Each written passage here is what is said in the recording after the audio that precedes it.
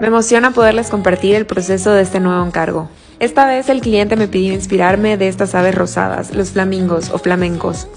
La idea era que la obra estuviera llena de mucho colorido y fuera muy alegre. Me gusta mucho realizarlas ya que estas aves son muy características de la región en donde vivo. Me tomó realizar este encargo unas dos semanas aproximadamente. Para hacer las plumas me ayudé la espátula y agregué mucha textura, acompañado de la hoja de oro que tanto me piden mis clientes. Y como toque final agregué el rosa neón en las plumas de los flamingos. Finalmente este es el resultado. Estos se van a Morelia, Michoacán. Si te gustó el resultado, comparte y comenta.